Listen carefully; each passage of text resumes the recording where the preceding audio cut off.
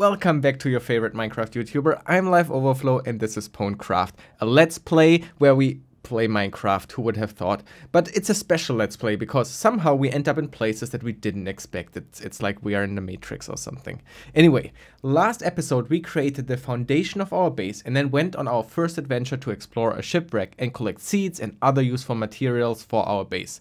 We also looked at the Minecraft network protocol and were able to teleport around. Anyway, we have a full inventory and so we are on our way back to the base.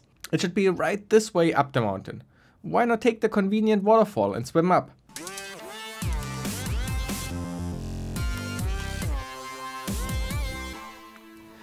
But during the nice swim, I was also thinking I really would like to explore more of the area around.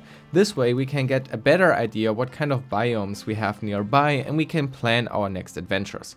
So instead of going straight ahead towards the village and our base, let's actually take a little detour and go in a circle around the wider area. And so I started walking along the top of this mountain in the other direction. Over there is I think the jungle where we got our seeds and vines last episode. But generally the whole area is just plains and some basic forests. At least over there we have some sunflower fields. Ugh, creepy. And over there is a mountain with a very weird cave. I just love Minecraft. I kept walking, really not that much to see, though I did come across some nice flowers in the forest. My general direction was towards the village we saw at the horizon, right when we spawned into the world. And I kept orienting myself based on our house where we started to build on the mountain. The sun was slowly setting, but the village for safety was close. I was planning to sleep there for the night. And there it was, finally reached the village. Oh my god, turns out it's an abandoned village. Great, so much for safety. Did that rabbit just jump off the cliff and die? Alright then. Luckily, I did find a yellow bed in one house, so I felt comfortable to go to sleep there. Uh, mm, well, at least it's day again. I decided to climb the tower nearby to get an overview. There are still cows here, so I guess it was abandoned recently. But the villagers must have fled in a hurry. Why would they not take the cows with them? Hmm. Oh, I hear a zombie villager close by. Let's make a quick escape. Look at my crazy movement. Real parkour. Awesome. We escaped. But, oh, that's high up. We need to cross. Lucky there's water down there. So let's just jump. Dang, that was close. But I'm a master of movement. I never had any doubts. While I keep exploring, I wanted to tell you a bit more about what I learned from the project last video. Maybe you are wondering, how exactly does looking at Minecraft networking help me? What does this have to do with hacking? First of all, hacking can mean lots of things, and generally I define the word hacking as playing around with technology in very creative ways. So cheating or modding Minecraft is for me hacking. But of course this is a Minecraft channel, I mean IT security channel, and so I do lean a bit more towards the IT security interpretation of the word hacking. But even in the world of cybersecurity, there are many different areas, for example penetration testing versus application security. I have a video about this topic which I recommend you to watch if you want to hear a few more thoughts, but in that video I explain that some hackers basically use tools and look for known vulnerabilities, which means they base their work on the research from other people. And I'm more interested in that other area, the actual security research. And in that field, you really have to dig into how computers and software work. So when I do professional work for clients, performing security reviews on their applications, I have to read their code to find new vulnerabilities, stuff that no scanner could ever find because they are logic bugs and only make sense for this particular application. So reading code and really understanding how software is built is extremely important for me. And I want to practice that. But how do you do that? Somehow you need some kind of motivation to read code. And here we come back to this Minecraft project. For example, taking the Python project Quarry we used last video, I can practice reading their code. I'm learning about their proxy implementation architecture, for example, how they use these dynamic methods based on the Minecraft protocol versions defined in the CSV file. I also see what kind of technologies and dependencies they use, like uh, Twisted. Over time, doing many projects like this, I gain a lot of insights into how people write software. So I develop an intuition for how developers think and then I can use that to think about what kind of mistakes they could have made, which gives me ideas for where to look for vulnerabilities. So playing around with Minecraft in this way is very valuable practice. I like to compare this to, for example, a professional tennis player who has practice sessions every other day.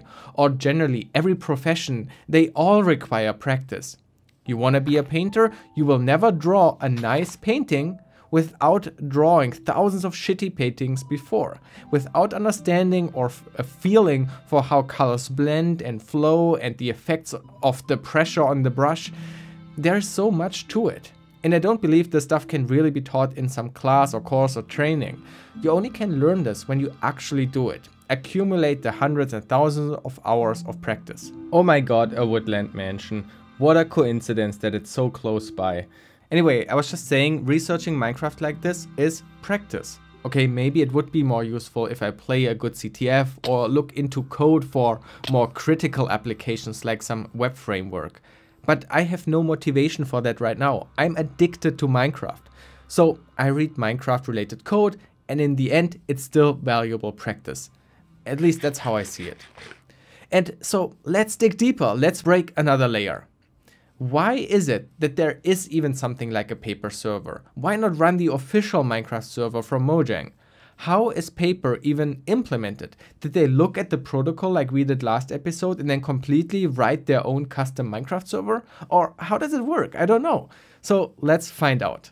When you look at the paper repository on GitHub, you might be wondering, where even is the server game code? You won't find it here.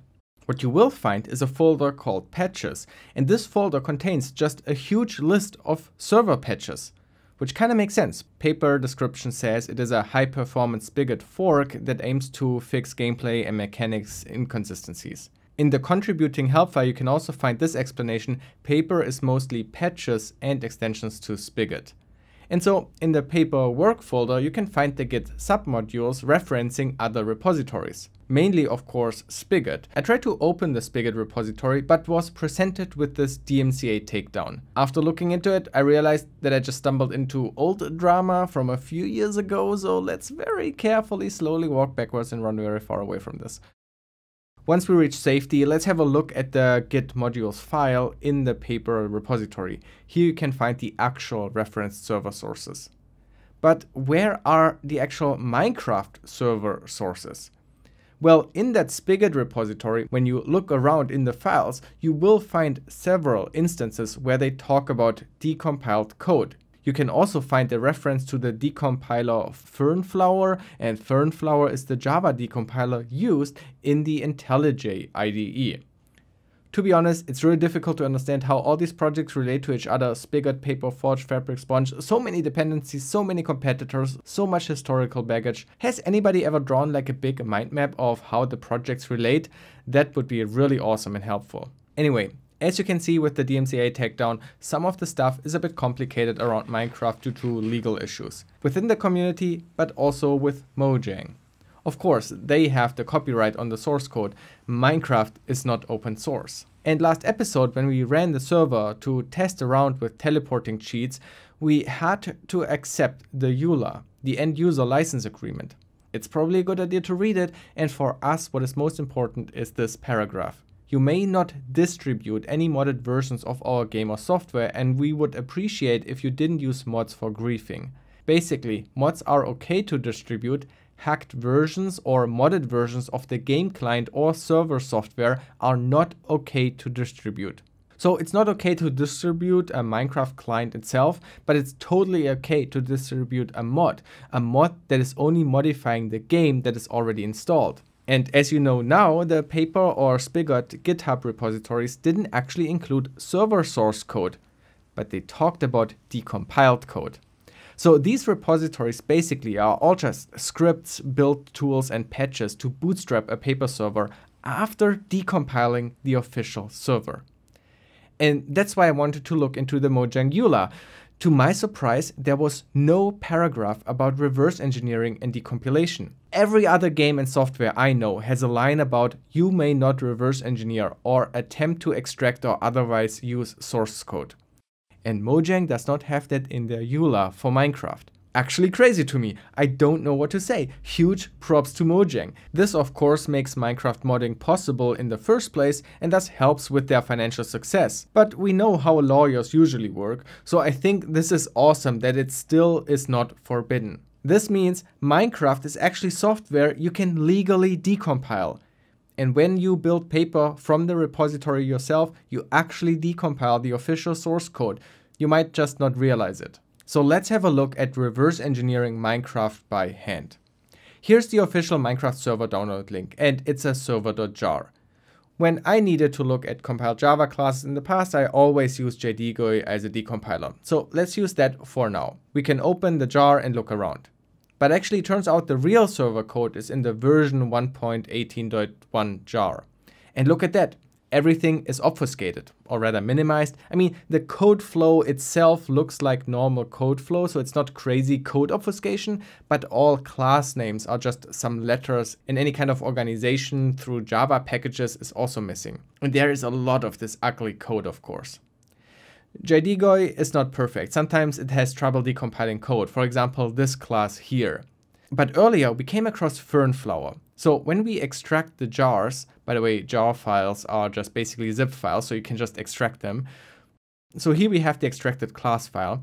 We can just drag and drop that into IntelliJ, and IntelliJ uses Fernflower to decompile this code. And this decompilation had no problem. Though to be fair, it says here synthetic class, so that's some kind of weird Java stuff.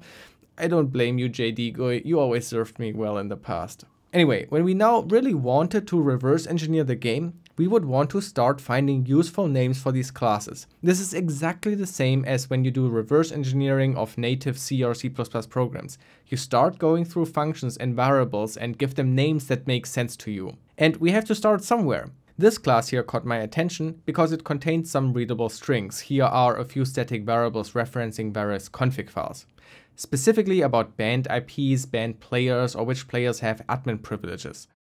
How could we call this class? I don't know, maybe player permissions or player config? Though maybe if we understand better what the methods do, we find a better name for what the class actually does. We can also rename the variables. Clearly they just hold the reference to those files. For example, banned IPs. And then we can go into the methods where these variables are used. So this A variable should be now named band IPs. Here is another tip for reverse engineering. This also applies to native programs. The exception and error handlers often just straight tell you what the code around was supposed to do. So here is an error could not load existing file. So it's pretty obvious that we could call this method load band IPs. I know, it's a lot of work to go through all files like this. But that's how reverse engineering is done. Luckily, in the case of Minecraft, others have already done this for us. So let's have a look at Fabric. It is a modded toolchain for Minecraft, and there are two interesting repositories, Intermediate and Yarn, intermediary mappings. This repository contains the match information between different versions of Minecraft. This repository has tons of these .tiny files, and here's the one for our version 1.18.1. It basically contains a mapping of these obfuscated names to an intermediary name. In our case, the AFX class is referring to the class class 3321 in the package net.minecraft. If we now take this intermediary class name and go to the yarn repository, this one contains mappings to actual reverse engineered names. And here it is class 3221 is actually called server config handler. And what we called banned IPs was named banned IPs file. That's probably more correct Java coding style. But isn't that crazy? So when a new Minecraft update is coming out, people now just have to match the obfuscated names to the intermediary names and then they can completely deobfuscate the code again. Of course, when new features are added to Minecraft with new classes, they have to come up with new names.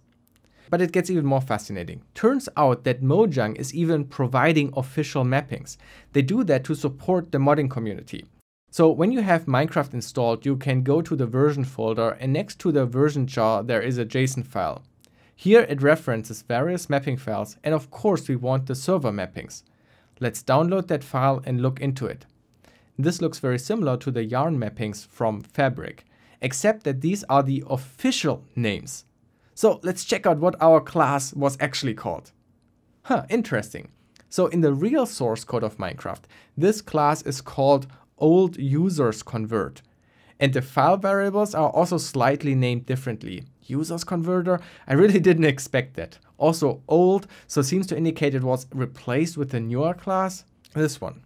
But as you saw, the Minecraft modding community is still using their own mappings. Of course, historically, the modding community didn't have the official names, so they had to work with their own made up names. And now changing them would break a lot of mods. And people are familiar with those names as well. Nevertheless, it's still a great resource and it's a clear sign of support from Mojang to support modding. Especially when new versions come out, because you don't actually have to reverse engineer and make up new names. Anyway, this is so mind blowing. Minecraft is maybe the largest community driven reverse engineering project in the world? It's crazy. Actually, that statement made me tweet this. Do you know any large community driven reverse engineering projects? And while almost nobody said Minecraft, immediately I got responses about other games like Zelda Ocarina of Time, Mario 64, GTA, Final Fantasy, Pokemon games. There were a few non gaming related projects, but see how important reverse engineering is for games? I hope you can start to see now how game modding is actually a lot about reverse engineering and hacking the game's functionality. These various Minecraft servers and modding support only exists because of very experienced developers who understand how to reverse engineer Java code, deobfuscate it, and write crazy tooling around everything. And so in the end, you can download the official server, decompile the sources, apply an intermediate mapping to then fully deobfuscate the source code into meaningful names so that you can then apply server patches to optimize it and fix issues and add features like modding support and then build the whole code again to produce a new server jar that you can run. What these Minecraft servers and modding communities have achieved through all these years is absolutely incredible to me. Huge respect. And it's so clear we can learn a lot about hacking from this community. Anyway, let's head back to our base and plan our next adventure. And you won't believe what happened. I was almost at the base, was recording these nice shots of me running towards it, and this happened. I fell down a damn hole, and it killed me. God damn it. At least we are close, so we should be able to get back all the items that we collected. Ah, respawn. Oh, what the heck? What happened to our house? Those are not the kind of walls I wanted. This is bedrock. These are indestructible blocks. Am I imprisoned? Who did that?